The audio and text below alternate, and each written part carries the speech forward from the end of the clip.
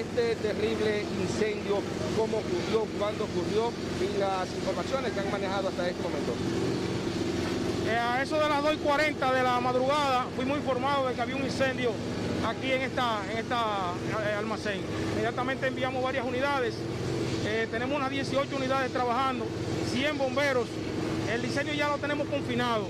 Tenemos apoyo aquí de la CAS, de Obras Públicas, los bomberos Santo Domingo Oeste, el norte y San Cristóbal. Recientemente hubo un problema con un cable eléctrico, un primario, que hizo contacto con uno de los carros de escalera de nosotros. Eh, uno de los bomberos recibió una carga eléctrica, pero eh, la unidad médica lo está atendiendo, aparentemente no es nada que lamentar.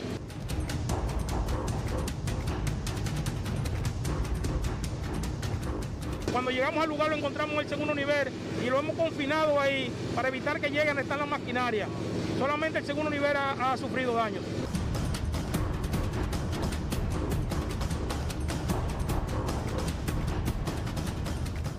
Vine en la madrugada a darle apoyo, a buscar y a gestionar con las demás instituciones cualquier cosa que se necesite. Y la realidad, como él dijo, es que hemos recibido el apoyo del Ministerio de Obras Públicas en un momento tan difícil como este. Los dueños han tenido comunicación, ya están acá, ¿qué le dicen? Sí, eh, los propietarios están aquí. Uno de ellos es una persona, un gran colaborador justamente del cuerpo de bomberos.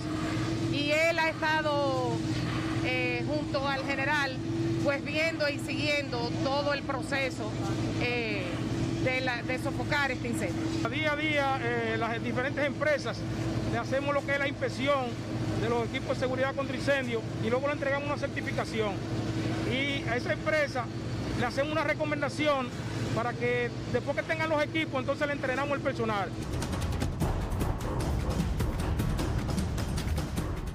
¿No había extintores en esta empresa? Sí, sí, tienen extintores, tienen los equipos de seguridad. ¿Qué falló?